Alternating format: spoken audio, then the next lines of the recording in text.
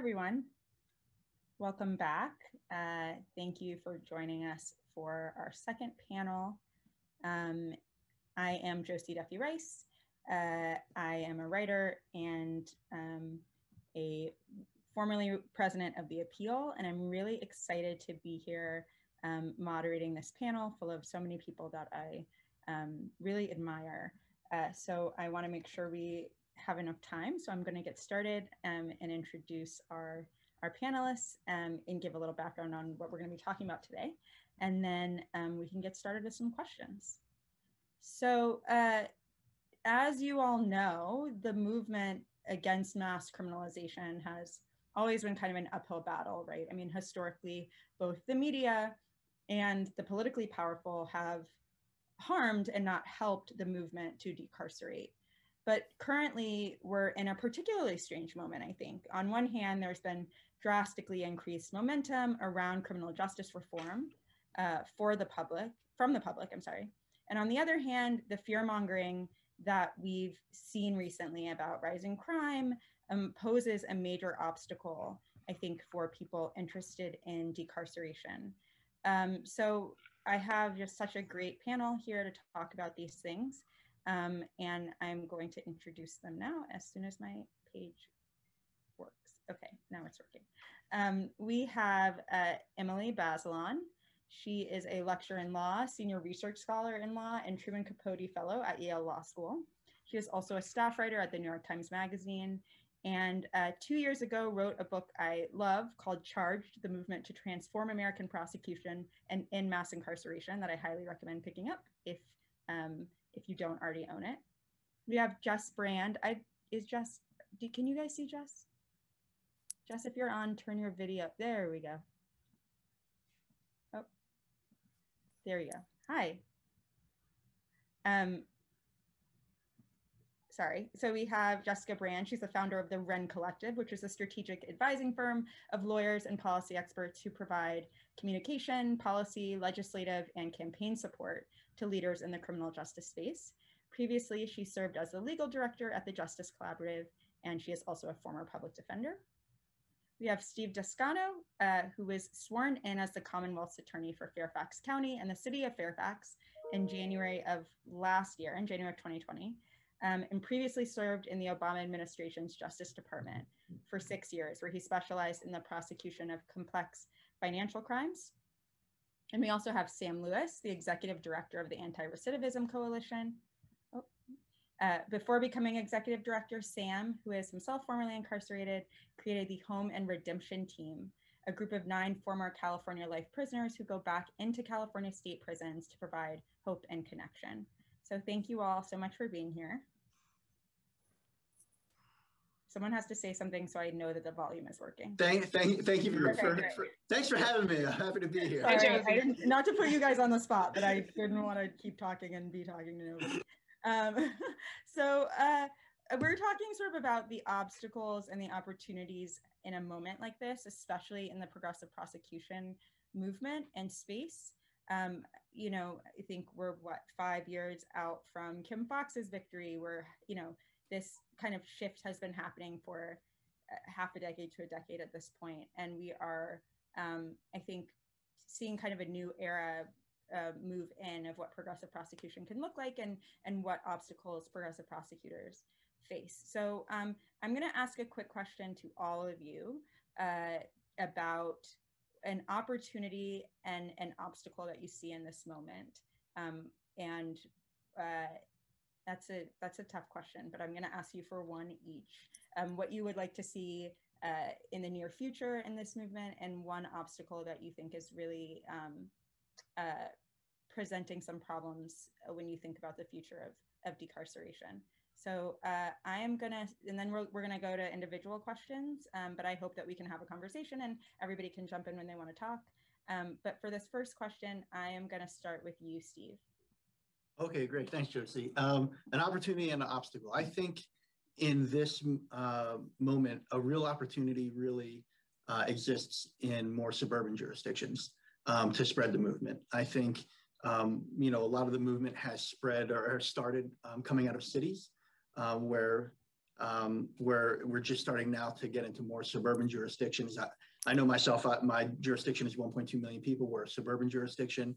And before the, the um, you know, the, the movement of, of the last year, the protests of last year, a lot of people in, in suburbs really never gave a lot of thought to uh, disparities in their criminal justice system. So I think the opportunity exists now that people are cognizant of that of it to really dig in and we can educate those individuals. Uh, the the obstacle is just the flip side of that. Um, is that there in those jurisdictions there may not be that depth of um, groundswell of support yet, and people are still very um, they can still be very influenced by by people who will kind of spin the the Willie Horton tough on crime. You should be scared, scared, scared. So I think that that those two things are the are the flip side of the same coin. But I think that opportunity really does um, exist to expand the movement into uh, more suburban jurisdictions. Thank you, Steve. Jess, what what you why don't you follow up on that? Um, good. I'm glad to go second because if I went last, I would have nothing left to say. Um, so thank you for that. Um, I think the Sorry, opportunity. Last, so. I think the opportunity is um, is that we can really look at long sentences and how unnecessary they are. When the progressive prosecutor movement started, it was like really low hanging fruit, right? Like misdemeanor bail reform or like ending the prosecution of marijuana possession offenses. And we're beyond that at this point. I mean, I live, um, I'm from Steve Descano's jurisdiction. I grew up in Fairfax County. Now I live in Texas, which is not a liberal hotbed. And we're like even beyond, you know, the marijuana stuff here in this crazy state. So what we can really look at is, okay, but people are in prison for 20, 30, 40, 50 years life. And we know, in fact, that people aren't dangerous for that long and that people can come home and be a productive part of their communities. And we're starting to see people really address sentences like that. California is really a leader, but Illinois just passed a bill like this. There's bills that are dropping in Florida, um, in Pennsylvania, all over the country to really think about long sentences and how we think about harm. And I think that's really exciting, especially if you're going to think about how to roll back mass incarceration. You can't just go with these low hanging fruit um, sort of short jail sentences. Um, but then what's the, you know, what's the big problem? Um, I would say fear um, and fear that is stoked by some combination of police union, sheriff union, and, and media which is that when there is a crime that happens, people think it's happening in their backyard. People think that it's coming for them, no matter where you live, no matter how highly unlikely and just tragic the event is. And and we've seen that kind of fear lead to mass incarceration in the future. And you know, we are at a tipping point where people are trying to push the same playbook today. Thank you, Jess. Sam? Uh, thank you. Uh, I would say the opportunity we have right now is to amplify and elevate the voices of people that have actually been inside the system. Uh, I often say when I speak to, to uh, crowds of 100 or 1,000 that I'm not unique, I'm not a unicorn. There are thousands of people just like me that just need an opportunity and resources to be able to be successful.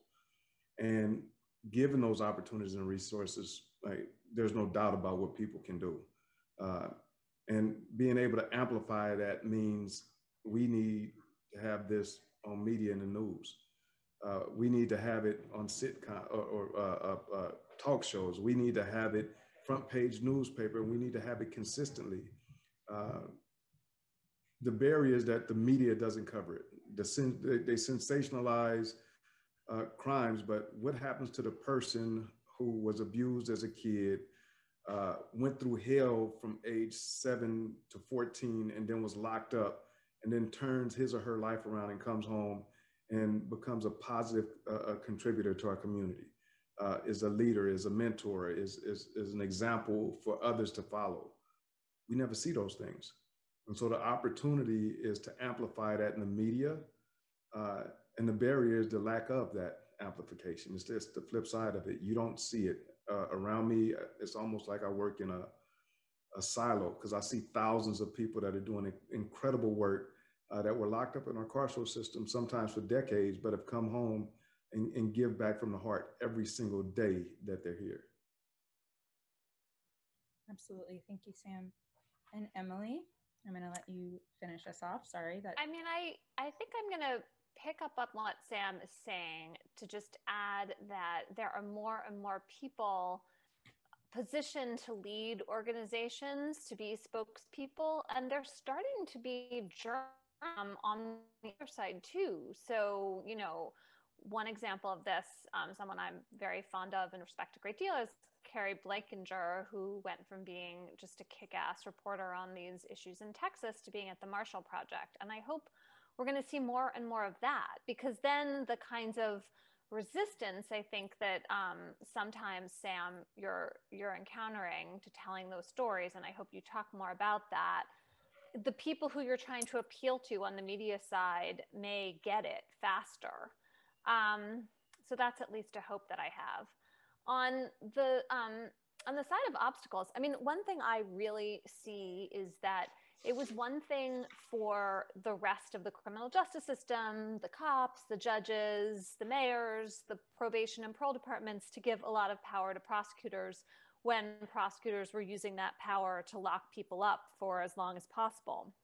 I think now that prosecutors, some folks are trying to do things differently, we're seeing second thoughts about um, just letting prosecutors use their discretion as they choose. And so the pushback I see in some places is not really from the voters. It's not the community. It's the rest of the entrenched system just refusing to change the status quo. And that's because change is scary, not like necessarily for the people in the community who, you know, based on the re-elections we've seen of people like Larry Krasner, the district attorney in Philadelphia, like they seem like they're on board. But I mean, I spoke to all of the elected judges in Philadelphia after my book came out, and I have ne- have not encountered such a resistant group to change. I mean, it was really pretty breathtaking, and it just made me aware of those sorts of systemic challenges, and they're kind of hard to cover. They're like boring and structural a lot of the time. So I think that's a, an um, obstacle, or at least a challenge for us in the media. Thank you all so much. So I'm going to um, start with you, Steve. Uh, I started with you last time. I didn't mean to start with you again, but here we are. Uh, because I, I, I really I won't take it personally. It's okay. I really wanted to ask um, about how this past year has been for you. You know, this panel is sort of talking about this inflection point where we are trying to see where, where we're still kind of figuring out um, what happens in this moment for certain prosecutors when they choose to um, implement more progressive policies or more decarceral policies, and also trying to predict where this is going in the future. So, on one hand, um, you know, sorry, uh, I want to know sort of about your both sides, the fight for more law enforcement accountability that we've seen kind of nationwide, as well as the more recent fear mongering and how that has affected your job and your role um, as a local D, uh, prosecutor, Commonwealth attorney, DA, in other in other states. Yeah, um, yeah, that, that's a great question. And you know, the the first piece of it, the law enforcement accountability part.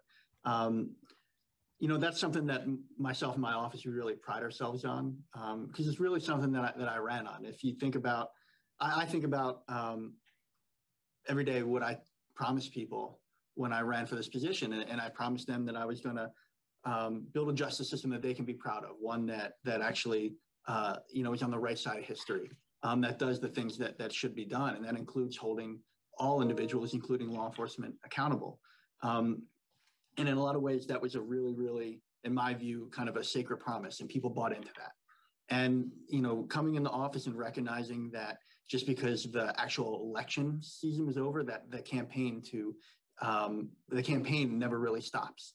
Um, so to that end, we've really focused on fulfilling that duty, and, and, we we've done that. You know, unfortunately, we've been in situations where we have had to um, indict officers, um, indict members of of sheriffs, uh, and put in policies where we have individuals watching body cams, not just for body cam footage, not just for um, uh, use in their case, but also as a check on the officers to see if they did anything that was criminal or to see if there was anything that violated their general orders and we would need to start either a criminal or internal affairs investigation. Um, so we've done all of those things because it's what the community demanded of us. Um, and I don't think it's, uh, you can't shy away from that, even with all the fear mongering. I think you have to lean into what you promise the people and what the, the values of the community really are. Now, that being said, there has been a bunch of a bunch of fear mongering around some of the things that that we've been doing.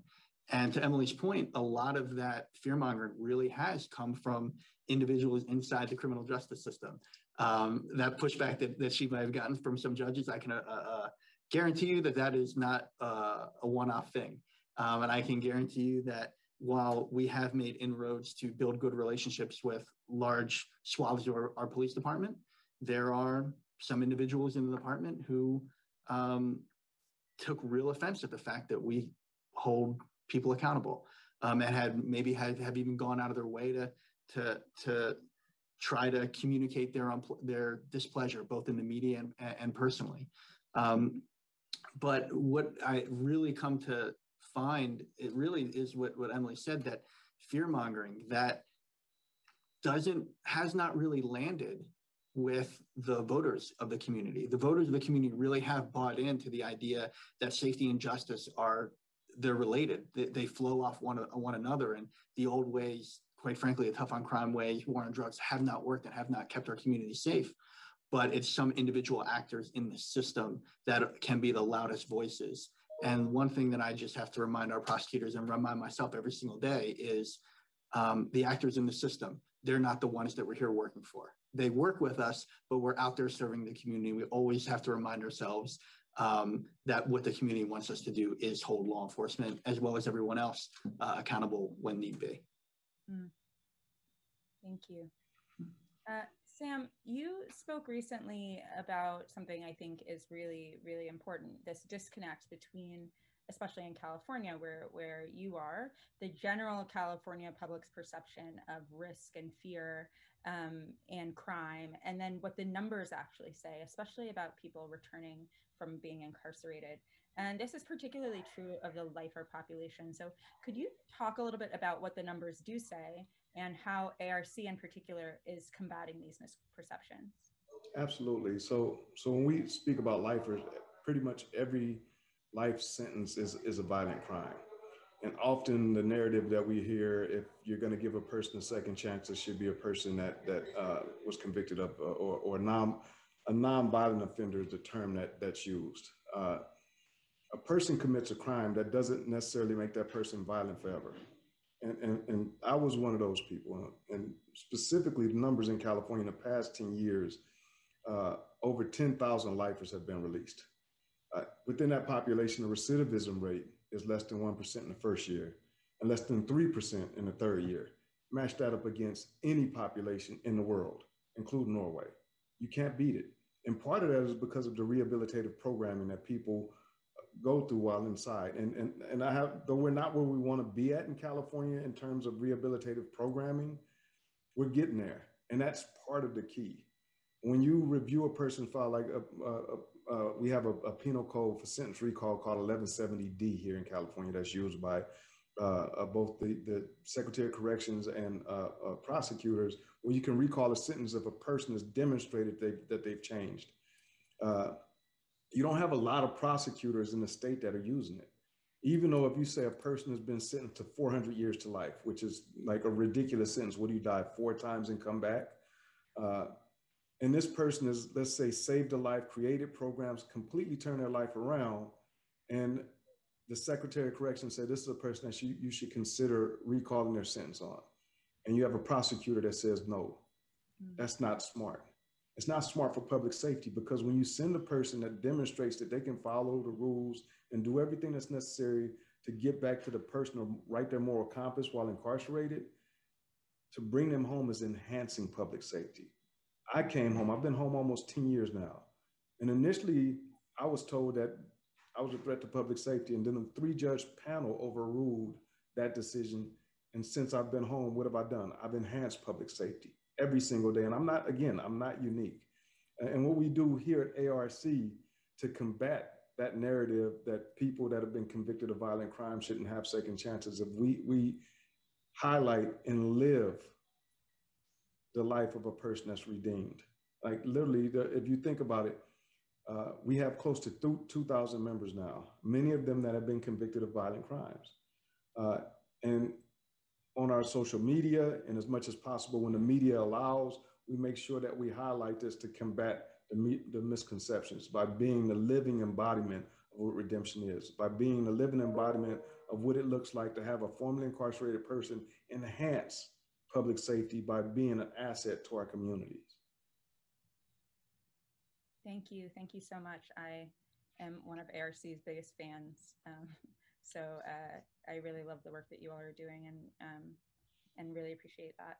Um, Emily, so you've been covering um, mass incarceration, you've been covering criminal justice versus supposed to crime uh, for a long time. And you were, I think, one of the first people really to draw a lot of attention to this idea of progressive prosecutors, to really talking about not only the prosecu- prosecutorial power in the media, but also um, what what progressive prosecutors are facing and the kind of the backlash they're getting, et cetera. So, um, and you're still covering that, even though the field obviously has changed a lot now and it's getting more attention. And um, I think the way that we think about criminal justice journalism in the past few years has has changed. Uh, so, what what what's gotten easier um, since you started kind of doing this work, uh, and what struggles are you still encountering um, as a journalist covering this field uh, for the public? So I often think that I really cover criminal injustice rather than criminal justice, um, which may be familiar to other people in this group. Um, I decided to write a book about prosecutors because of all the research showing that they increasingly make the key decisions in the criminal justice uh, system and are really elevated in terms of power above judges. And you know, I think that in itself is surprising to a lot of people. We think of the system as like a triangle where the defense and the prosecution are supposed to be on an even playing field and the judge is supposed to be up here. But for a lot of reasons, especially mandatory minimum sentences and the stacking of charges that expanded criminal codes have allowed, prosecutors really have replaced judges because it's charging and plea bargaining that really determines the outcome um, for most cases and effectively bakes in the punishment that people receive. And then I got lucky, which is that um, after I started working on my book, though, this movement to elect people making progressive promises as district attorneys really got going.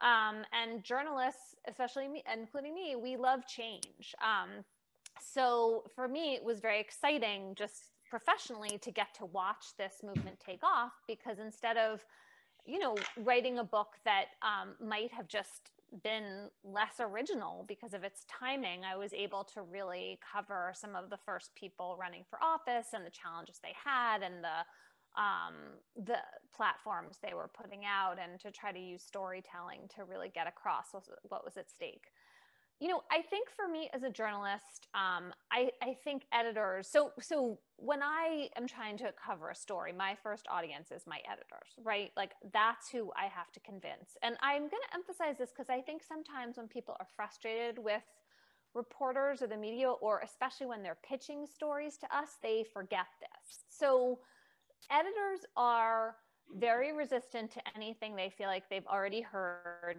10 times or 100 times, even if it's like a really unsolved problem, right? Like, this is a big problem in journalism. We are not interested in the thing that is still wrong that we have spotlighted before, even if it's not fixed. And that I think that sort of short attention span or like limited appetites for big unsolved social problems is like a big Achilles heel, but we really have that Achilles heel. Um, and I think sometimes reporters have it, and often the editors they're responsible for, they're responding to have it. And so I think that um, that's why change is so useful for us. Um, and in some ways, I think there's just more receptivity right now to these stories of injustice because of, you know, the Black Lives Matter movement and protests, because there's this sense of, uh, you know, increasing awareness, I think, in the media of racial injustice and the way in which that plays such a huge role in criminal injustice. And I think the hard part that I see right now, um, and I've been thinking about a lot, is you know, it is always our job to ask hard questions, especially of elected officials and people who serve in government. Like that's our watchdog role.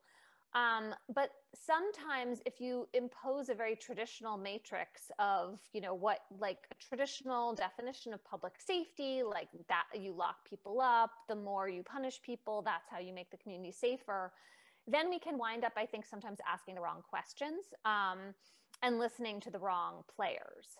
So I see that especially as a problem in a lot of local news still and a lot of television coverage. And maybe I'm just being a snob here about TV because I'm not a TV reporter, so it's like easy for me to blame.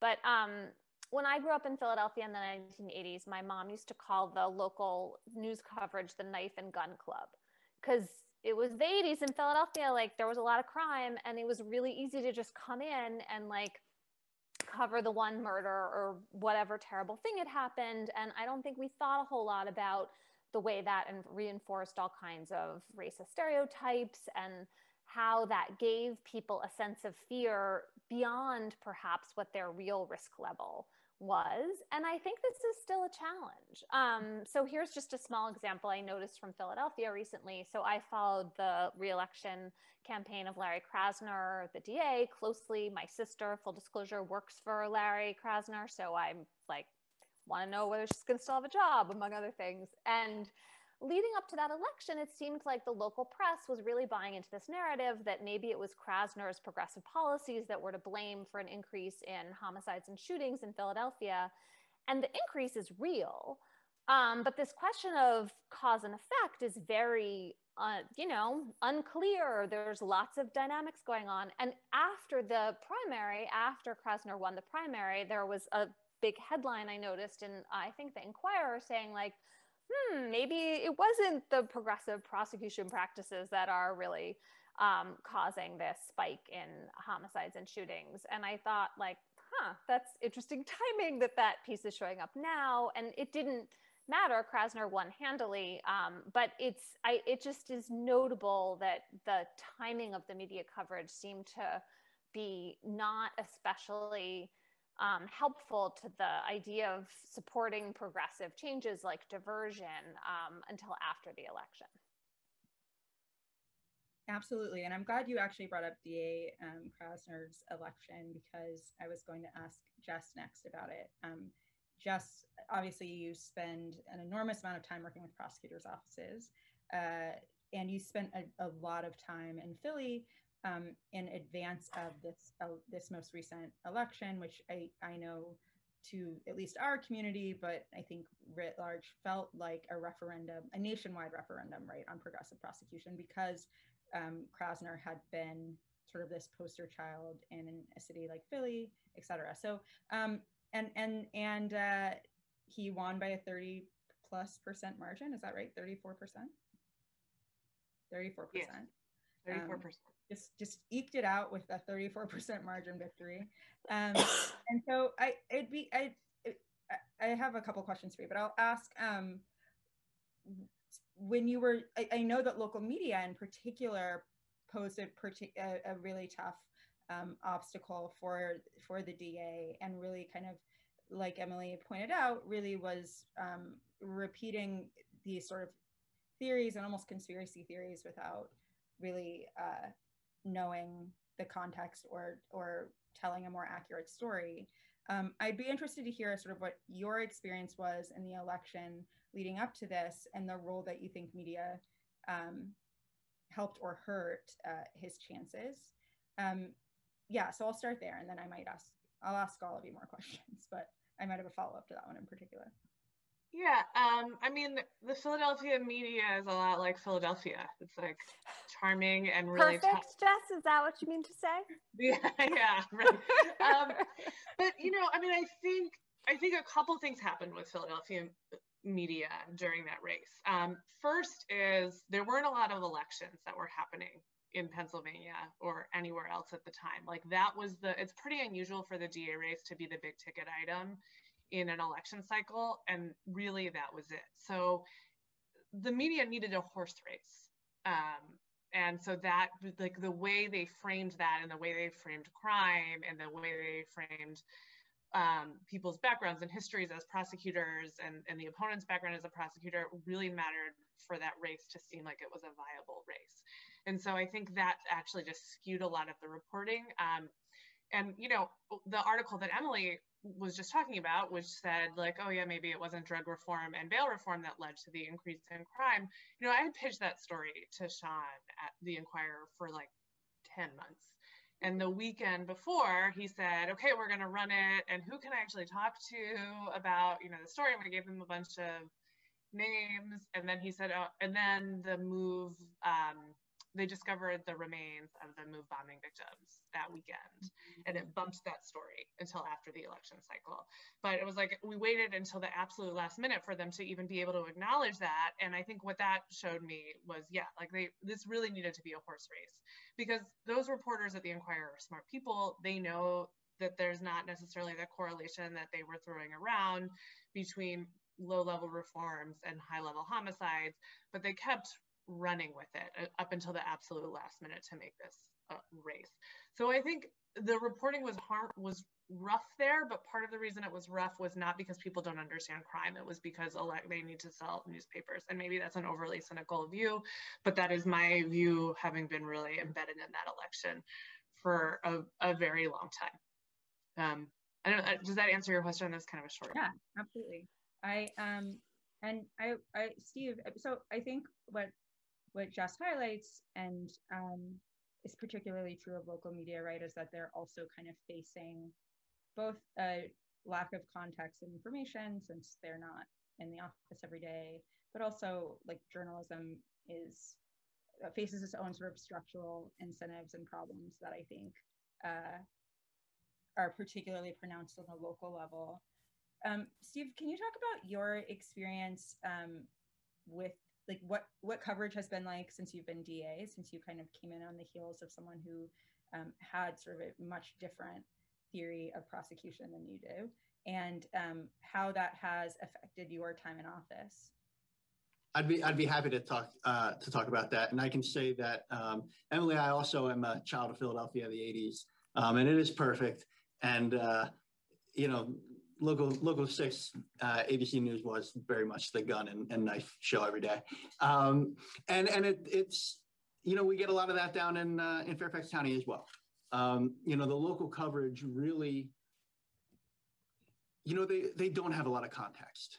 Um, you know they they they really do kind of use that traditional view of um, of what the criminal justice system is. So it's very very difficult. Um, you know because what will happen is even we do start to start to see people uh, reporters they they start to get it and and they are starting to to get context but it's so easy um, to run with a very short story particularly uh, on the tv news right? You get a lot of hey this one thing happened um, so oh that sounds very interesting or very bad or what have you um, so we're going to put that on the news, lacking any context, lacking any recognition that um, you know that it may not be an accurate report that they got, or that taken out of context. When you put it in the context, it actually makes a lot of sense.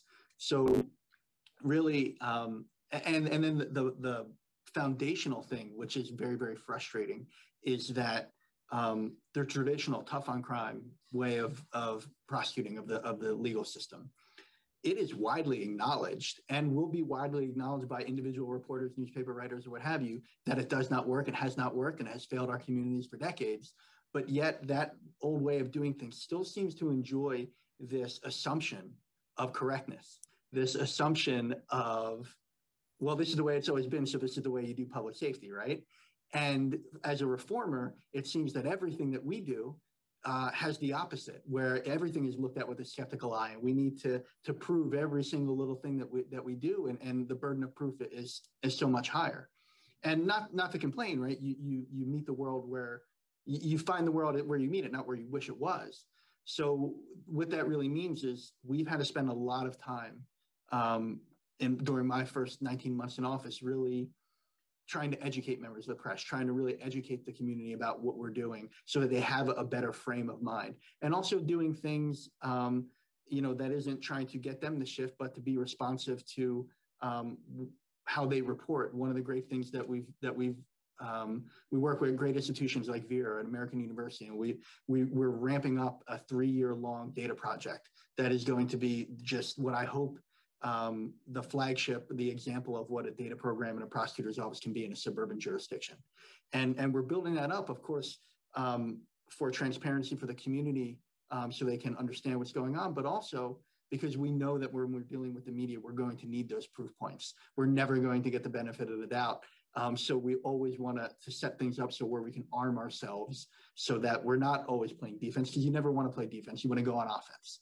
And working with the media, continuing to, to be out in the community and have that public support, but also building things in the office that will allow us to, you know, even for the fifth or sixth or seventh time prove the same point as to why we're doing something um, has been a focus of our office over the first 19 months because quite frankly in a jurisdiction like ours if you're not involved in the criminal justice system personally uh, which many of our 1.2 million residents are not the only way that they're going to see it or touch it is from something on the news or something in the washington post and we want we are always very very cognizant that um, that we need to be getting our message out to those people in the in the maybe few times that they think about the criminal justice system. Mm-hmm. Um, Sam, something that um, uh, that Steve just said really sticks with me and reminds me of something else I heard you say, which is about how this kind of narrative is affecting opportunities to further decarcerate because it does hold um, so-called progressive prosecutors to this particularly high standard. So in California, there are obviously um, two very high-profile recall efforts. Uh, one again, one against uh, George Gascon, the District Attorney of Los Angeles County, and then one against uh, Chesa Boudin, the District Attorney in um, San Francisco. So, what what are you seeing in in the in in California around these efforts and and um, the drive around them, and where do you think the movement can uh, improve to sort of uh, combat the pro-carceral messages that are really gaining traction in this moment? I think, I mean, from from where I stand, particularly in San Francisco, we see just an avalanche of messaging um, around the DA that I think many of us know does not actually represent even things in his control or dynamics that are unique to him, but that um, it's it seems that it is uh, catching hold in some places. Messaging, it, it literally what I said a, a little while ago. Uh, for instance, uh, young people. Uh, we have a number of young people that work with that, that have come home from incarceration that were in the Department of Juvenile Justice that have made huge advances. Graduate from college, in trade unions, owning their homes, uh, uh, married with children, and they came home in 2021, 2022. We don't hear about them. Uh, and these were these were young people that didn't go into the adult system. Uh, and so, like for instance, Gascon doesn't want to send uh, juveniles, 16 year olds, into the juvenile system, into the adult system.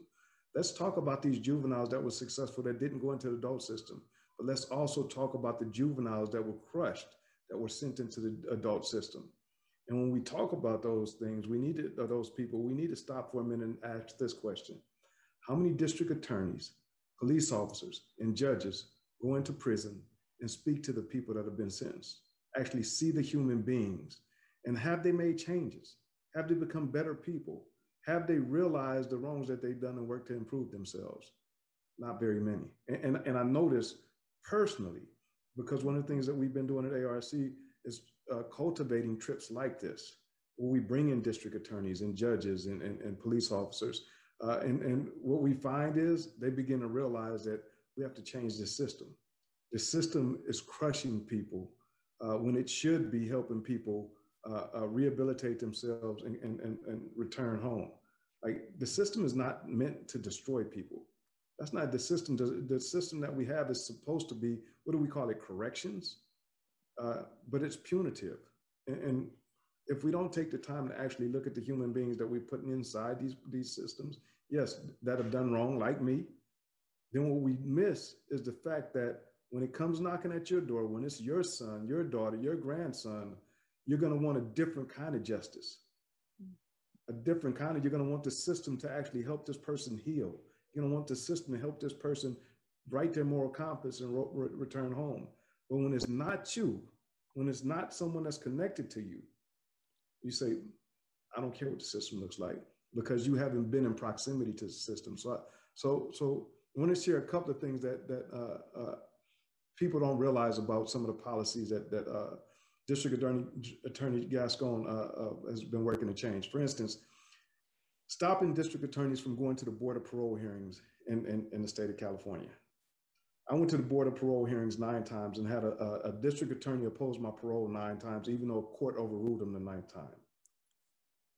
The district attorney did not know anything that I had done while I was incarcerated, how long I had been disciplinary free, the fact that I had cre- created programs, the fact that I had graduated from college multiple times uh, with, with honors, the, the fact that I had helped stop different things that happened inside institutions.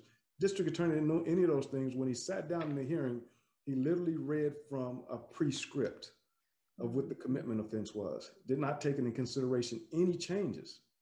The same with the police department. They send us the same form letter every single time without saying, has this person changed and can this person now be an asset to our community? And so sending district attorneys to board hearings, and, and I have to point out in California, our board of parole hearings is made up primarily of former law enforcement. So it's not like you can get a free ride home. It's right. a very difficult task to demonstrate that you're no longer a threat to society. Why would we pay extra money for a district attorney to go in and oppose parole when in fact we have former law enforcement making this determination for us? Right. And so, so that's just one of the the the the, the many policies that uh, District Attorney Gascon has, has uh, uh, uh sought to change. Uh, gang enhancements.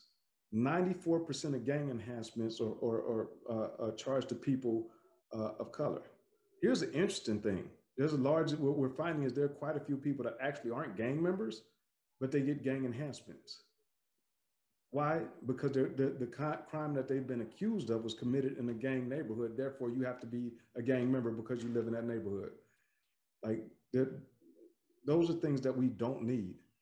Like, what we need to do is stop and look at our system and ask, what is our system meant to do? And then the next step that we need to take is to actually bring people that represent the district attorneys, police officers, judges into our system to sit down and see how our system actually works. Is it working to bring home people that are healed and whole and ready to be part of society? Or is it just crushing people and making them worse than when, than, than when they came in? Um, that parole hearing, in fact, is just uh, devastating and so upsetting. Um, so, Emily, as a journalist, I am also a journalist, and we sometimes get bad raps um, as a field and um, totally reasonably, I think, um, when we talk about the role that media has played um, traditionally in covering uh, not just sort of progressives in the law enforcement system, but crime in general, right? Sort of systemic um, issues that that play out individually. Uh, we know that there have been a lot of failures of journalism, but I think that there is also a sense um, or a, a missing sense among a lot of people about what the obstacles journalists face. I mean, you just brought up editors, right? Um, but why some of these decisions are made and what um, what are the ways in which the um, life of a journalist, whether it be a local TV journalist or someone who you know works for the New York Times Magazine, for example, um, why they might face or why they might be making the decisions to cover things in a particular way, uh, and what are sort of the obstacles and and um, and constraints that they face. Do you? This is kind of a hard question to spring on you, um, but I'm wondering if there are any of those that you want to talk about that you think can give better context to why we see journalism making some of these mistakes still um, and how to better address it. Well, one thing I think is sometimes a problem is that we as a profession are lazy. And so it's easier to do things the way we've always done it. You know, we're not sometimes that different from the judges, um, et cetera, who are resisting change in that like it takes work to go out and figure out whether it makes sense you know a new approach. How do you know what the evidence for is for that? If um, people are not following the same script for addressing crime that they've followed before like how do you evaluate it? So I think that's like a pretty significant issue. Um, another problem, I think, for beat reporters, and I'm not a beat reporter, um, but if you're a beat reporter, you have to cultivate relationships that you need to go back to again and again. You're a repeat player in a system of other repeat players. And if you piss people off, that's going to make it harder for you to do your job down the line. And some of the players in the system have a fair amount of power to um, inflict damage on you if they don't like you. So, for example, if you are the cops reporter in a city and you rely on the cops to um, give you scoops that other reporters don't have, and they get mad at you because you um, wrote a story about how you know the reason violent crime is rising is not because of like a diversion program for people caught with guns who haven't used those guns like that's going to be a problem for you. Um, and so sometimes i think as a magazine reporter my job is significantly easy, easier because i can parachute into a place and spend a lot of time assessing what i think is happening and looking at the evidence and then i can write one story. And if people get really mad at me i probably never have to talk to them again which is freeing. Um, and so I think it's important to to recognize those constraints, um, especially the beat reporter um, constraint, because those people in some ways have quite a tough job. Uh, and like if you don't take it into account, then you're going to be missing part of the dynamic. Um, right. And then the last thing I want to say is just to support Steve's effort to build some data that shows what he is and even what he isn't accomplishing because um, one thing that really struck me when I was working on my book was how accustomed prosecutors were to just like, here's this case and I'm going to adjudicate this case. And no one was really saying, like, okay, well, here's a bunch of people charged with breaking and entering and they went to prison. And here's another group charged with the same thing and they didn't. And what's the outcome difference? What do we know about the reoffending rates of these two different groups? And what does that suggest about what the best approach is for public safety? the more we have that kind of evidence, the better I think decision making, I hope, will be within the system, but also the easier it is to prove to journalists or other people who are looking at your work that you know that it makes sense or maybe you tried something and it didn't work and that's also really important for us to know. So i just want to applaud that effort and say that as a journalist i am so hungry for those kinds of um, pieces of research and databases because I really try to tell stories that reflect some larger phenomenon that's data based, um, that is not just like some one off um, tale that I got interested in. Yeah, absolutely. I think um, what you just said about local beat reporters in particular is really hard for people to remember. There's like a theory that all of us journalists are on some listserv together planning our agenda.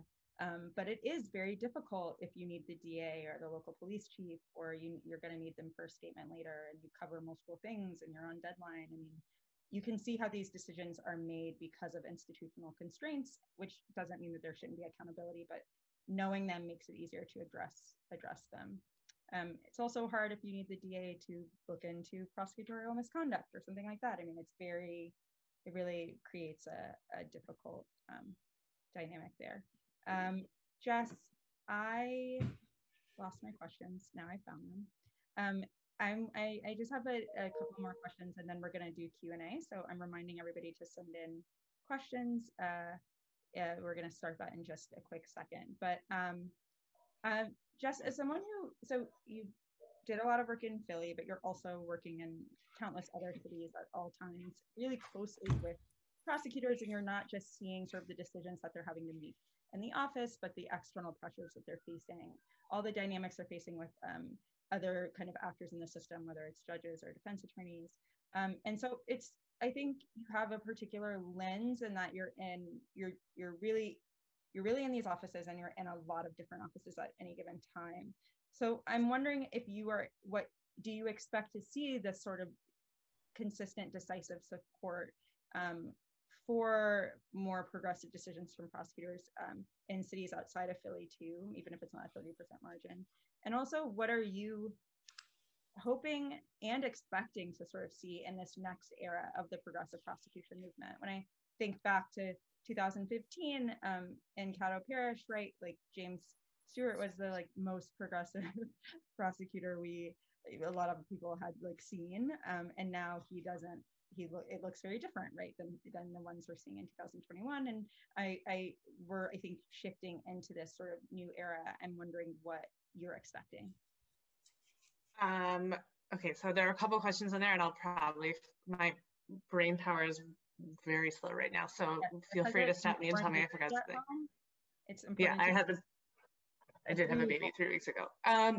So yes, I think we are going to still see like overwhelming progressive support um, with one caveat, which is that I think progressive prosecutors and the left are at a real inflection point right now, where there's so much fear mongering and pushback from police unions, law enforcement unions, um, right wing prosecutors, right? Like what, we're seeing in California, where Anne Marie Schubert is just going after Chesa Boudin and George Gascon and, and the Attorney General Rob Bonta. Um, you're seeing so much of that with the same messaging. And I think we, in terms of progressive prosecutors and the left, play into that um, narrative at our peril.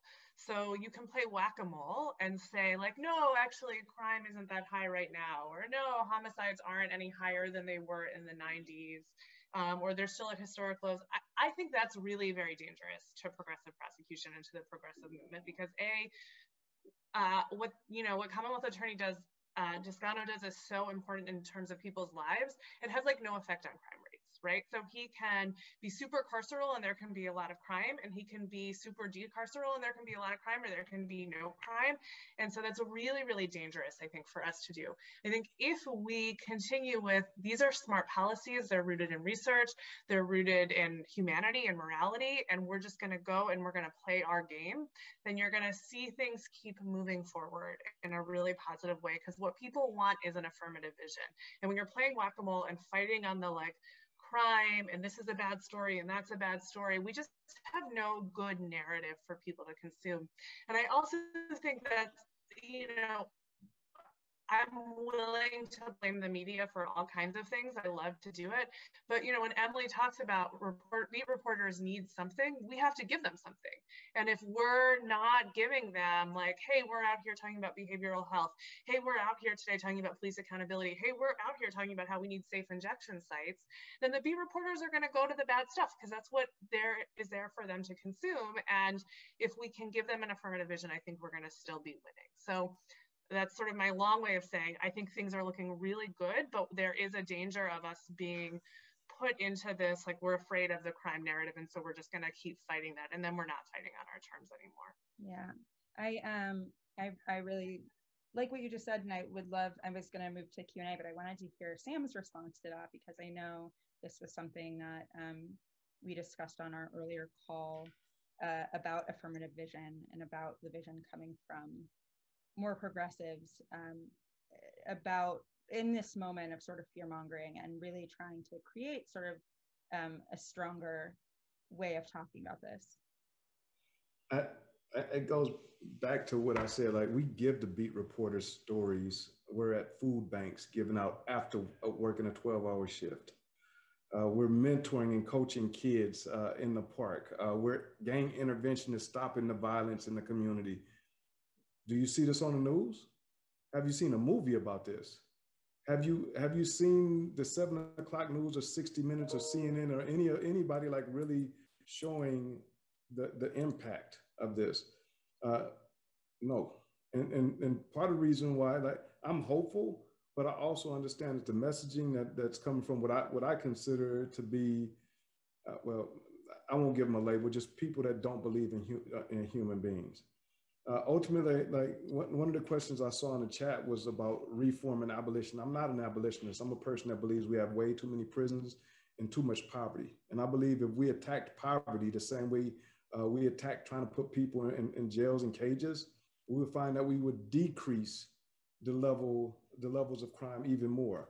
And then once we did that, we had to start to figure out what are we going to do with these prisons like Tracy that's closed in California one of the first major prisons that's closing in 30 years, and Susanville that's closing a year after that. How are we doing these things? Because we're, we're, we're one, we're investing in the people, but we don't hear about the investment. The, the numbers and the statistics show the further a person goes in their post-secondary education, the least likely they're re- reoffend. Do we hear about the college programs and the graduations uh, that, that are inside prisons now and the people that are coming home and utilizing that education to give back to their communities?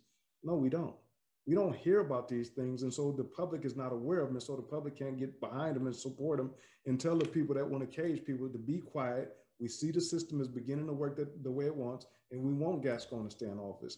We want to see this happen because what it does is it allows our communities to heal.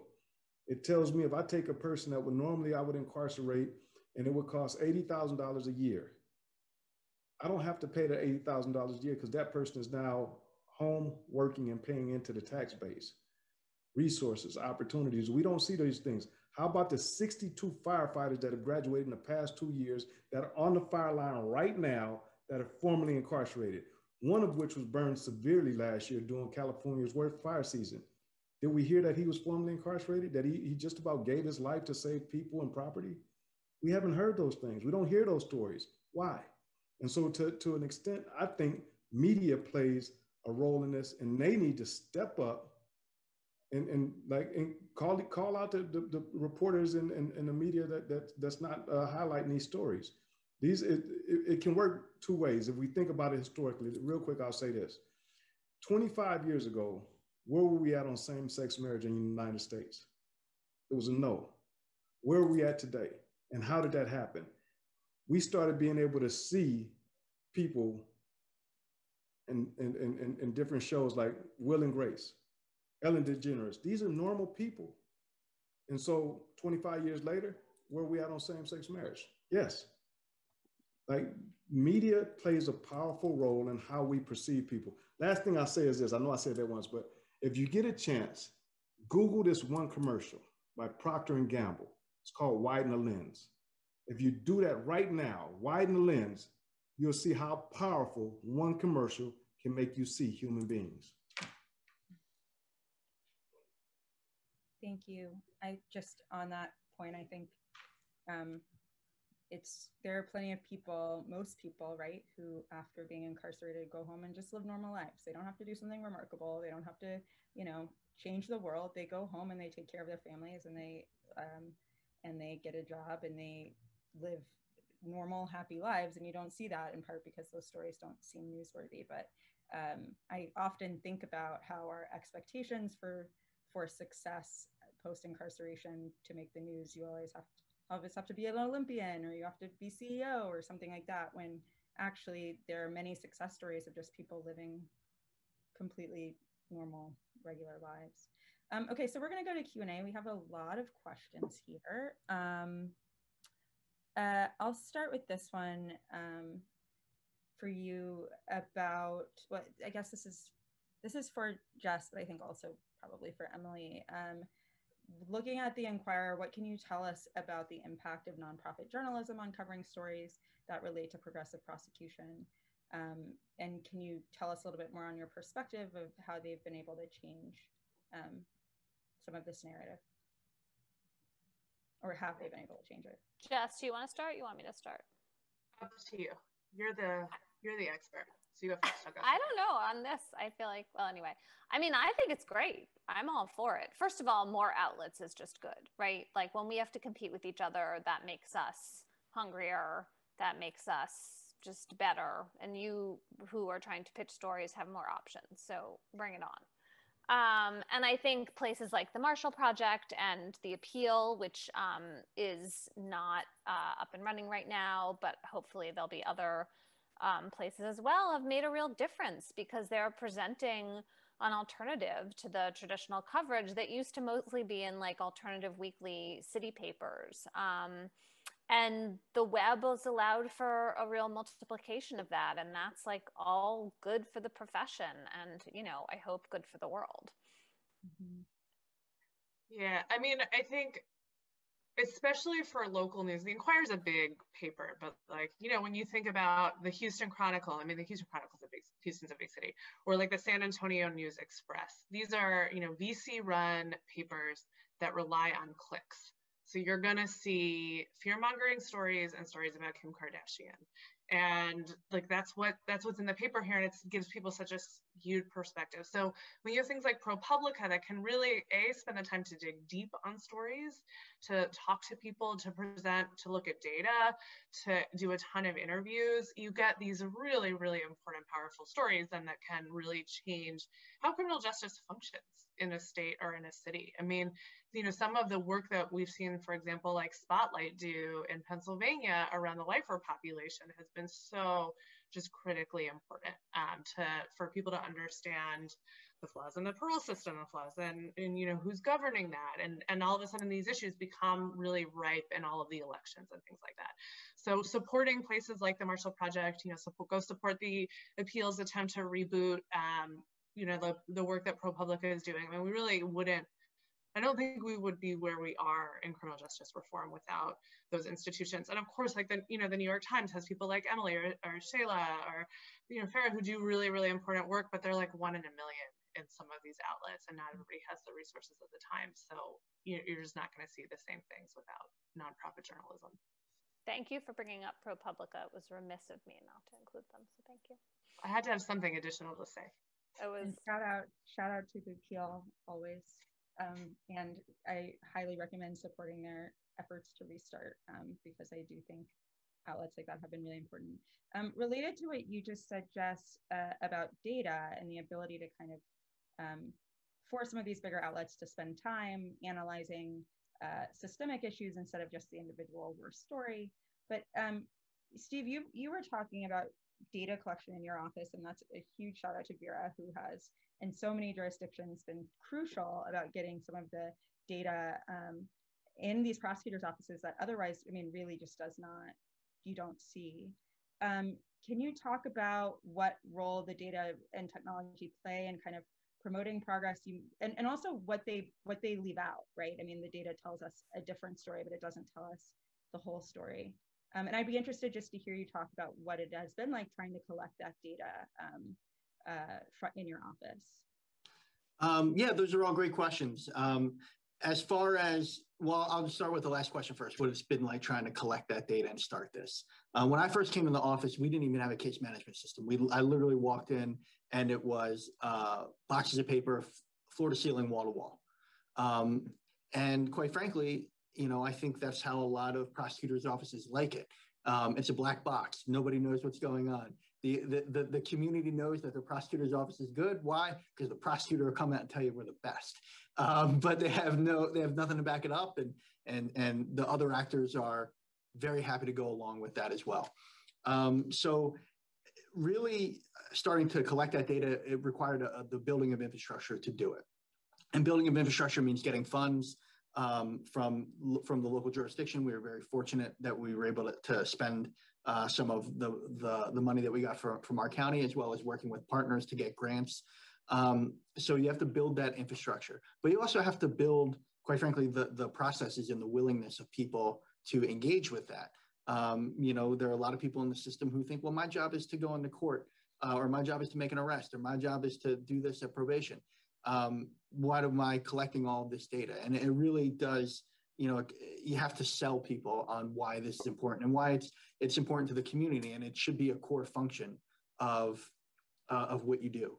And so you know we've we've done that in terms of trying to um, sell what we're going to use it for. You know obviously we're going to be using it for transparency for the community. We always say that we want to bring the values of the community into the courthouse and that we should be judged on how well we do that and data is a big piece of that but also people in this community are re- and in this office are really jazzed up about the idea that we're going to use the data to root out systemic discrimination, whether it be racial, socioeconomic, even geographic in a county of the size that we have that, that exists, um, and really see if our programs are working, see if our reforms have made the, intent, the intended impact. And quite frankly, where are there things hiding that we haven't seen? This is all in service of that affirmative vision, that affirmative vision of building a justice system that is uh, that deals with people fairly and with equity, um, and, and, really takes a 360 degree view of what's good for the community as a whole.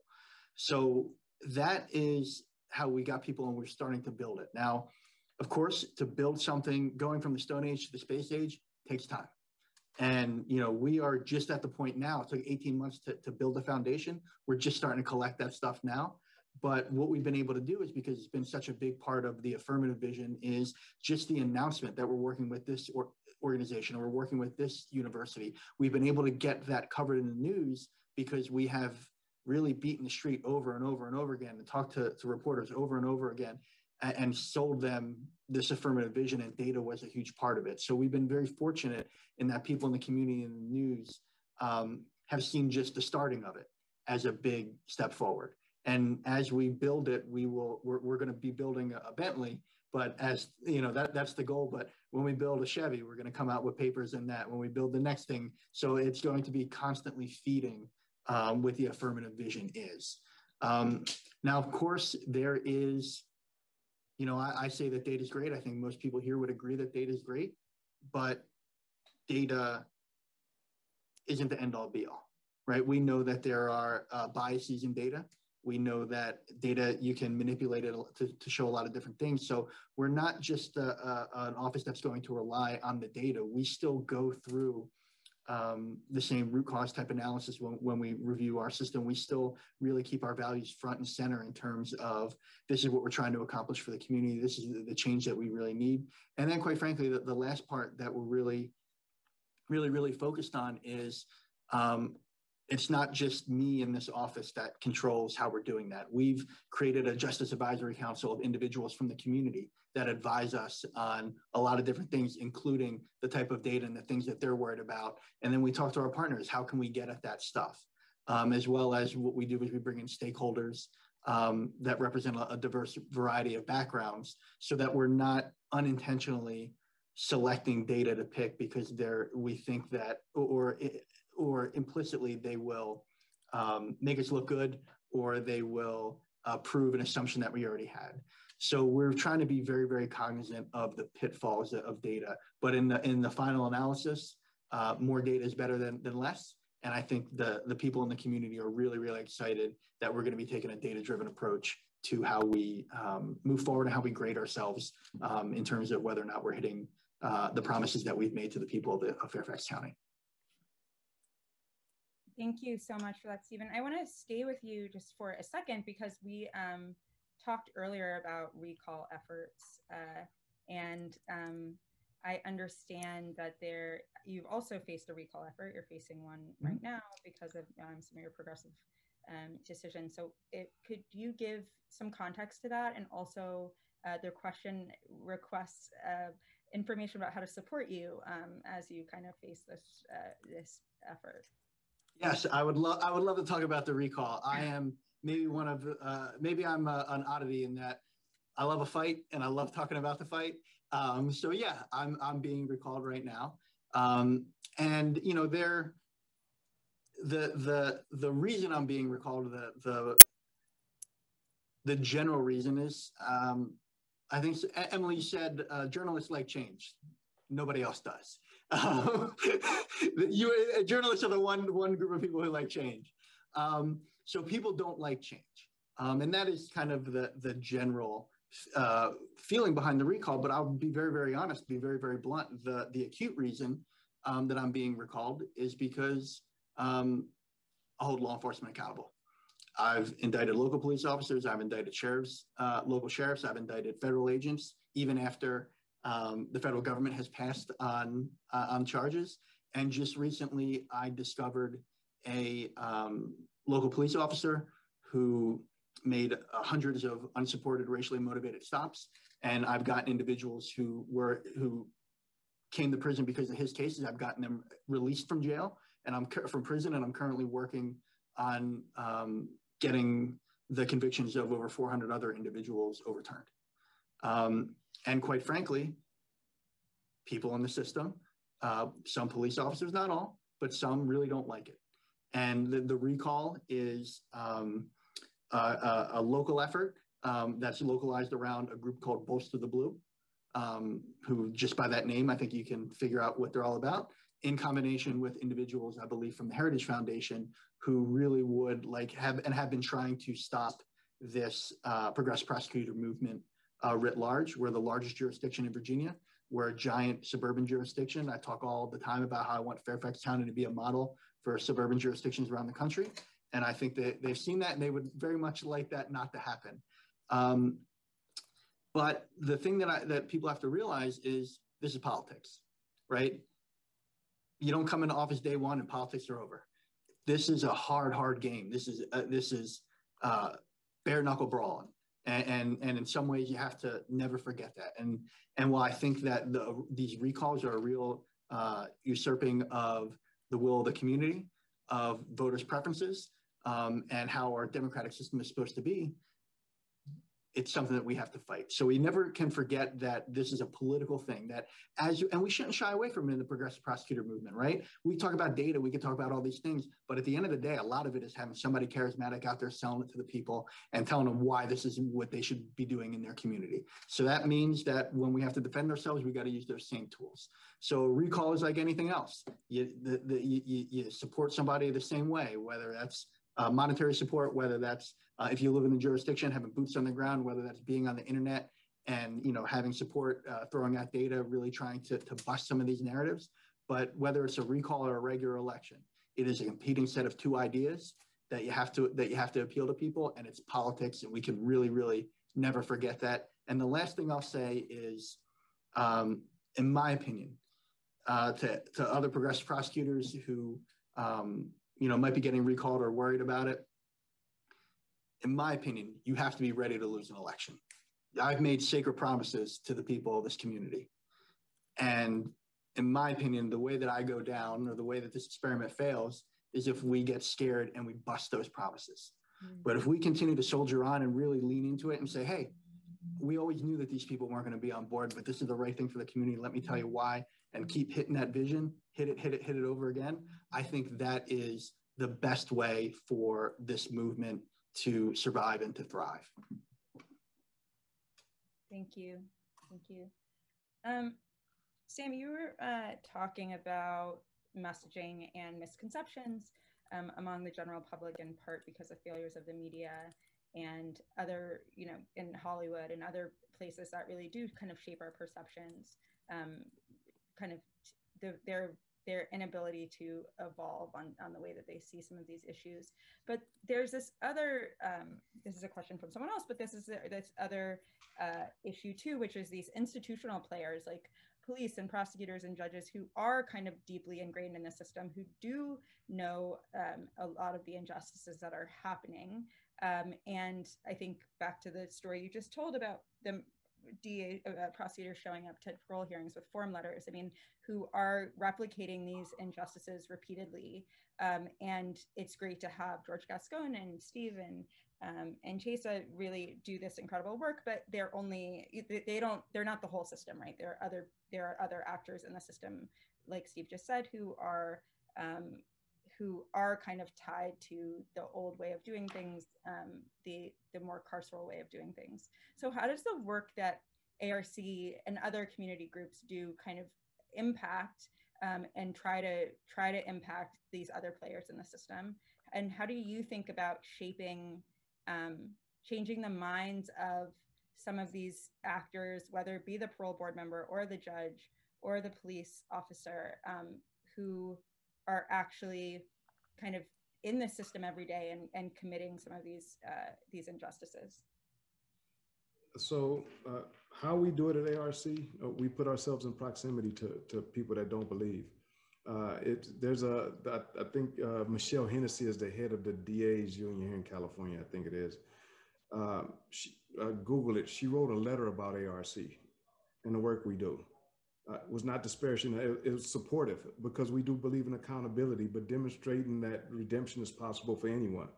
Uh, she sat with us for three and a half hours and tried to poke holes in our belief system. And it's like, no, when people make bad choices, if they're given the opportunity to redeem themselves and given the resources and tools, most of the time they'll choose that. And so she walked away baffled, I think, even though she it, it did not change her position but she did write that she supports the work that we do, and, and that's what we do.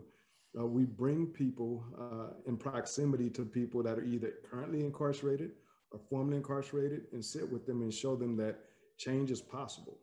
It's possible. And, and the other part is uh, when we talk about sentencing, like how do we get away from 300 years? Do you want a person to die in prison? But what happens if that person turns their, their life around? Like, should they be given a second chance? Uh, I, uh, we're, we're, considered a, a, Christian nation, and one of the tenets of Christianity is forgiveness. Uh, of course, again, with, with accountability, with a certain amount of, of, uh, of justice should be tempered with mercy. And when we don't have those things, we end up with a, a, a, a system that's the size of ours that's just ridiculous. What do we? I think the numbers are 5% of the world's population, but 25% of the, the, the carceral population. And so, uh, uh, specific to your point, we've had conservative uh, legislators side with us based on our policies that we've pushed forward. We've had DAs change their position. We, we've had, uh, uh, we present before the Board of Parole hearings at least twice a year. We go before wardens. We're now going into now all of the prisons, former lifers, to run rehabilitative programs to guide people to understand the steps that they need to take in order to come home uh, all formerly incarcerated, full-time staff going into every prison from Pelican Bay uh, uh to Donovan, from stop, top of California to the very uh, uh, southern tip of California. part of it is they have to see us. They have to see us. If they don't see us, they don't believe that this is true. And when, when, when we're able to be in, in their presence, in proximity to them, there's no way to deny that people can change and that our system is, is, is, is not working correctly. Uh, or, or is not is working the way that it, it was designed to work, but it's not working correctly if we're serious about looking at the human beings that are currently in our carceral system. And so every chance we get, whether it's the LAPD uh, or, or, the district attorneys, but before Jackie Lacey was voted out, uh, we went and presented before all of the DAs that go before board hearings. And it surprised them the number of former lifers that had returned to the community and were doing great work. They couldn't believe it. They, they had so many questions. And the fact is that they never took the time to actually stop and say, do people change? And are, is, is our sentencing structure wrong? Should we stop and think for a minute that maybe we got this wrong and maybe there's a better way to do it? Maybe we need to listen to progressive district attorneys and say, just for a minute, is this something that we got wrong for many, many years, obviously. And maybe we should just take a chance and see if this makes it better for us and, and our communities and across the country. Thank you. Um, Jess, one of the major criticisms you see in progressive prosecutors' offices, especially I think, I think especially in their initial months of their tenure, um, and Steve, I'd love to know what you think about this too. But is this push? Is this conversation about? Sorry, my children just got home, so if you hear screaming, I can't. I can't shut them up. I try all the time. Um, uh, I think one of the major pushbacks you see is about retention, right? That uh, these offices are having trouble keeping prosecutors. Um, that there's a lot of pushback from line prosecutors, and it really, I think, um, I'd love to hear what you have to say about it. But it does seem like a major obstacle for offices that are trying to change things if the people actually carrying out their wishes are not interested in that. So what are you, how are you seeing that um, across the country in different offices? And what are you seeing as possible solutions or ways to sort of mitigate the impact of um, former staff who may really not agree with a more progressive approach to uh, prosecution? Yeah, this is um, an unpopular view, but this is why I'm never going to have run for elected office among many other reasons. Um, where the office isn't unionized, if you have a bunch of prosecutors who don't want to get on board with the reform policies, I think they should all be fired. Um, you know, it's not, there's this theory that it's really hard to find good prosecutors. And so you have to um, have a lot of people who are really experienced. And, you know, like you're not doing the investigation as a prosecutor, right? You're relying on the police department. There's you get a lot of support as an institutional prosecutor, which um, you know those of us who worked in the defense world for most of our careers did not receive. So you you can train people much faster on that side to try these cases, and you can also find really good people who don't want to sentence everybody to life in prison. Like those people do exist out there. So I would say we should not be trying to hold on to people who have the um, instincts of the past who believed in these long sentences, who believed in the toughest on crime, like there's no right to have that job. And we can find other more exciting people who are sort of on board with this new view of criminal justice to take those jobs. Now in places like where george gascon works that's or wesley bell and st louis county that's really hard because they're unionized offices. So that's a sort of a different problem um, and there are ways to sort of address that but they're they are different. Um, you do see these stories like in Philly, it comes up like Larry Krasner fired 30 people, right? And how can he possibly have this office? Or um, Kim Ogg in Houston, who is, you know, not really that progressive and is not my favorite prosecutor in America, but she fired 40 people when she came in and they were some like real killers. I mean, who had Brady violations and were sending tons of people to death row. And she got rid of them and she should get rid of them, right? Because those people did not embody the values that she ran on. The media will say this is a catastrophe often because again they want a story but the voters said this is what you should do that's why they elected larry right? They didn't elect Larry to keep 30 people in the office who were conducting terrible civil asset forfeiture. They elected him to fire those people and start again. And so I think that's really, really important because if you are the elected official and you maintain the same cultural problems in your offices, then nothing is ever going to change and you don't deserve to be the elected official anymore in that office. Um, I will. I will say, just because Josie, you wanted me to my to weigh in on yes, this, right? Please, yes. Oh, okay. Um, Jess, I, I share that same opinion. Um, I will say that 19 months in, out of the old crew, I have two uh, left in my office, um, just two. Um, and out of how many? Uh, I have an 80 person office. Um, so because I think he he didn't fire 78 lawyers. I I feel like yeah, I didn't fire 78 attorneys. I'm not going to say that. That's right. Thank you. but there were yes, there were an, uh, there were a number of people who look, there was no there was no mystery as to what I was about. During my campaign, I put out a 20 page paper. I said I'm going to do these things, and I and people got the sense of me, and they realized uh, what I say I'm going to do. I'm going to do. So there are a number of people who realized they would not be successful in this office. Um, so they left. There were some people we didn't keep on because I knew they wouldn't be successful in this office. And some people over time, over the first year, when they saw that I was really serious about these things, um, we made it we made a decision to part ways. But what's really interesting is now we have an office of people who are mission based we built a, a, an office that is values forward mission driven we're all rowing in the same direction. And i can't tell you the number of people that are in the office that when i interviewed them and i would ask them questions and it would come out and they would tell me i was never interested in working in a prosecutor's office but i want to come and work for you because i've seen what you've done or I don't want to work for another. Pro- I want to work for your office. You're, you're the only office I want. I want to work in, um, because there are people out there, good attorneys who care about the community, care about people, um, that just can't ever morally see themselves working in an office that just puts people away forever and is maximally punitive and ruins lives and ruins communities. That, but there are people who buy into the idea that safety and justice go together and that the role of the prosecutor really is to help the community. And if you do it right you can help the community. You can build a better place.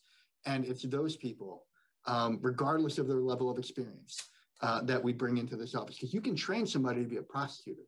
You cannot train them to see their role and their relationship to the community in a certain way. And i think when you come in you got to get rid of people who don't see it and go out and find people who buy into the vision and buy into the to, to, to what you're trying to do and see that relationship and that care for the community they serve. Thank you. Um, so we're almost out of time, and I wanted to ask. Uh, I had a question for Emily, but I think I'll ask it to everybody. Uh, so um, Emily recently published an article last um, last month that I highly recommend reading in the New York Times Magazine about her efforts, uh, along with her sister and some other um, advocates, to to help um, free um, someone serving time who had sent her a letter. It's a remarkable piece. Um, but it, it deals a lot with um, eyewitness misidentification and some other kind of uh, kind of issues with evidence and practices in prosecutors' offices that I think are common, but again, don't get a lot of attention um, from the media or from the general public. Um, and there are so many of these, right? We all know these issues that we wish people knew more about. And so I'm wondering from each of you, from your own perspective, what are the what are the specific issues or the specific policies or the specific laws um, um, or the specific movements, I guess, in this space that you are you wish uh, got got more attention. Um, for me, mine is I wish forensic science and and the issues of forensic science got more attention. Um, oh, we lost Sam, I think. Sam. I bet uh, he'll be back. I'm but, sure he has uh, thoughts about this. Yeah, um, but I would love to hear for you all. What do you wish was being covered more? Um, or, or was just more uh, that the general public knew um, when they are sort of assessing um, DAs and prosecutors in their own in their jurisdiction. Uh, oh, I have to pick someone to start. Okay, Jess, you go. Um, I like I like to go second. Um, what do I wish first. they knew? I, oh yeah, Emily's gonna go first. Then I can go second. Perfect. Okay.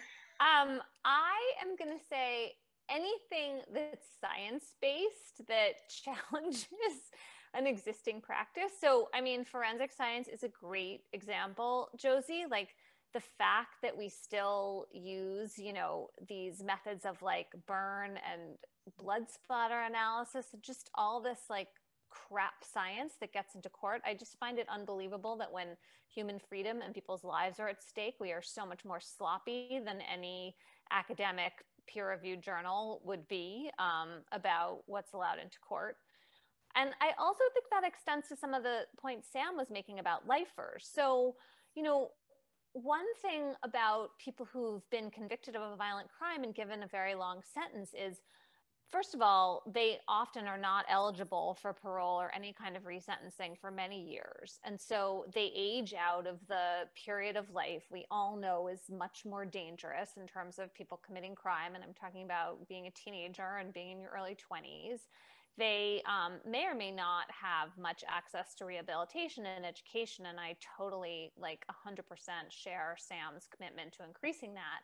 But they often have had time for reflection and also like they got in trouble once for doing one bad thing and so all of that tends to add up for to far less reoffending than people who are addicted to drugs and i don't mean this in like a blaming way but if you're someone who's a drug offender nonviolent or not you may have a lot of trouble not reoffending because you're still trying to feed your habit. And so i feel like there's this way in which like it's backwards to um, to start with the nonviolent drug offenders, um, which isn't to say like I'm not in favor of that kind of reform, just that I wish people understood that science because I think it's so crucial to addressing this problem of long sentences with which everyone on this panel has I think highlighted and which really is like the big next challenge to get people more broadly to understand.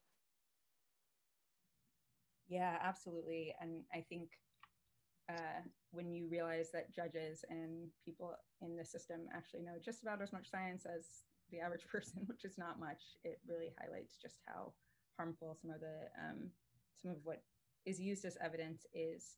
Jess, since you want to go second, shall I call on you next?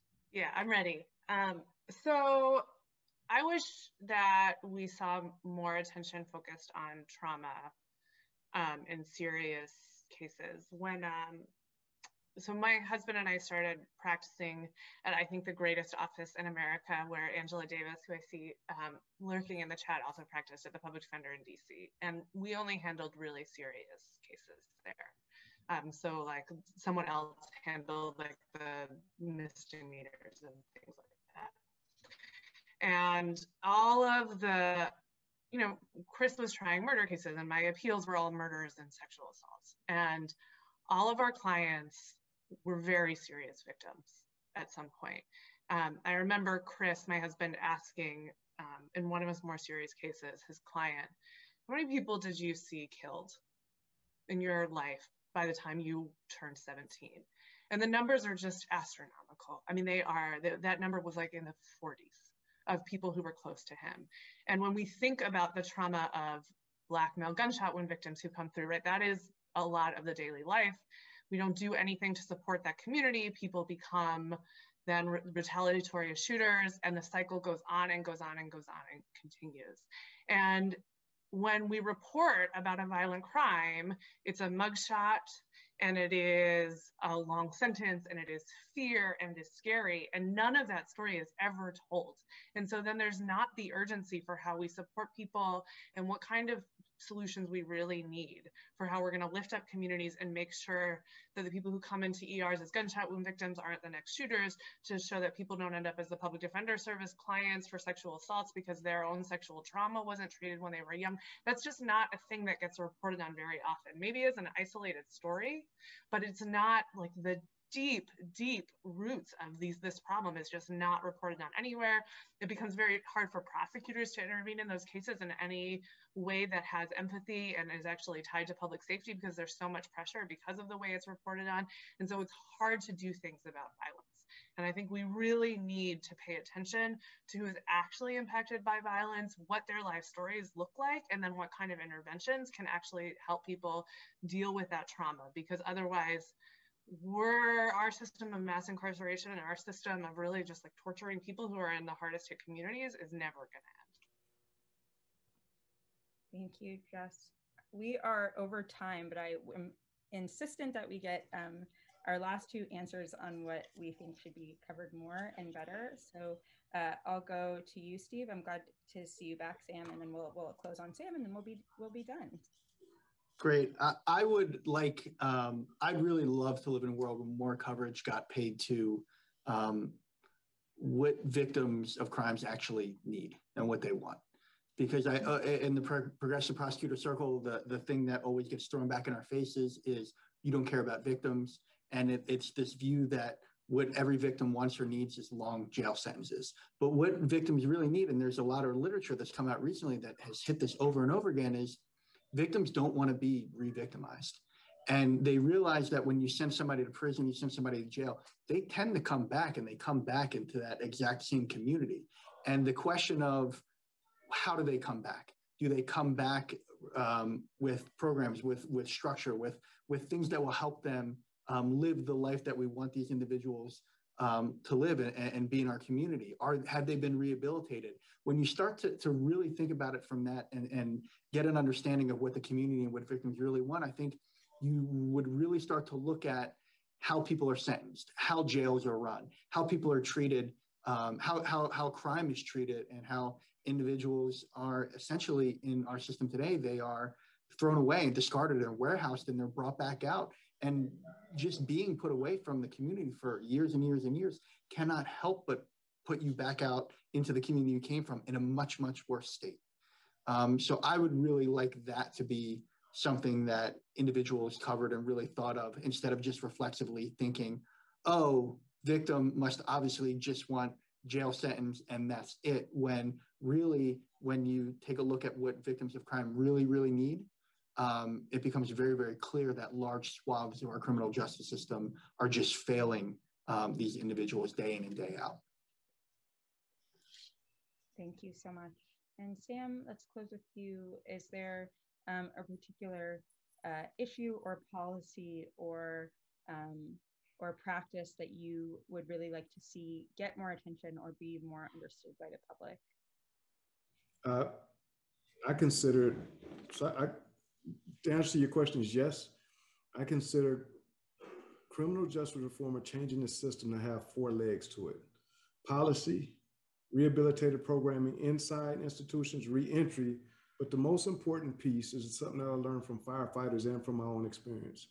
When we have a major fire in California, what do they do? They cut a break in the fire line so that it can't get fuel. I say that in comparison to our youth that are coming into prisons the school to prison pipeline has to be stopped. And, and, what I mean by that is we need to invest in our young people. We need, go to South LA, go to 115th and, and Figueroa and just walk around and see how messed up it is. And look at the kids that have to wake up every morning to see this. And we need better schools. We need after school programs for those single parent homes. We need dance, art, music, sciences, all of these things for our kids in under-resourced communities. Nobody wants to say it, but it's those, those are the community, our black communities, our black and brown communities. If we do that, do right by our children, we can start changing the cycle. But we have to, and, and when I say our children, they don't have to be my kids.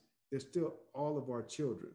And we need to take that seriously because the, the, the kid that ends up in the Department of Juvenile Justice could easily matriculate into the adult system. But we can also easily stop that person. Think of it. We just, we're coming out of a 30 year war that cost us how much money? How about we take that kind of money and invest it in our kids? Thank you. Thank you so much. That's a great way to end. Um, I'm really enjoyed talking to you all. I could talk about a lot of this stuff for a long time. I have 900 more questions about the data, Steve, but I will have to bother you those you about those another time. Uh, thank you all so much for joining. I know you're all so busy and doing such great work, so I really appreciate it, and I really um, am grateful to Vera for hosting this panel. So thank you all. Thank you. Thank you, Josie. Thank you. It was a pleasure. A pleasure to meet my fellow panelists too. You guys are awesome. For sure. Thanks, Sam. Nice to see you guys. Yeah. Bye, Bye everybody. Take care.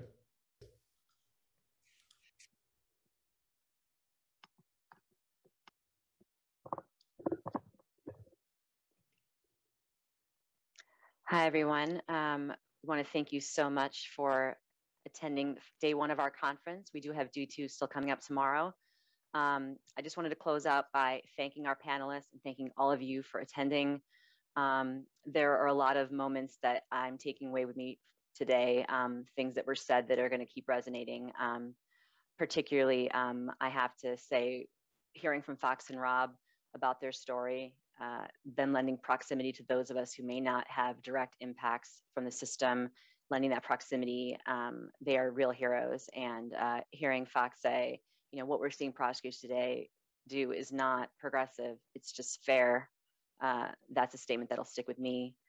I also really want to thank Sam Lewis from the Anti Recidivism Coalition in Los Angeles for sharing his personal story. He's not only doing incredible work as an advocate, as our Fox and Rob and our other panelists, but also by lending his story about standing up in front of a prosecutor nine times who refused to see Sam's dignity and read from a script and was so focused on upholding a punitive sentence um, when we can see how remarkable a person Sam was and continues to be. Uh, these these stories, I'm so happy that we were able to uplift them, and um, I hope our, I know everyone watching here continues to share those stories. Um, if you enjoyed today, please do share the link with others that you think might be interested in joining us tomorrow. To let you know, we'll be starting tomorrow at one o'clock with our third panel, Resistance to Progress, the Role of Race and Gender. We are very excited for this panel where we intend to take a deep dive into some of the genderized, racialized backlash that Black female prosecutors have faced in the reform prosecution movement. And that'll be followed by our workshops. We'll be inviting you to join in one of our workshops focused on legal, media, and community engaged responses. So with that, thanks again for joining us. You made the right choice by tuning in today, and we hope you'll make another good choice tomorrow. Thanks all. Take care.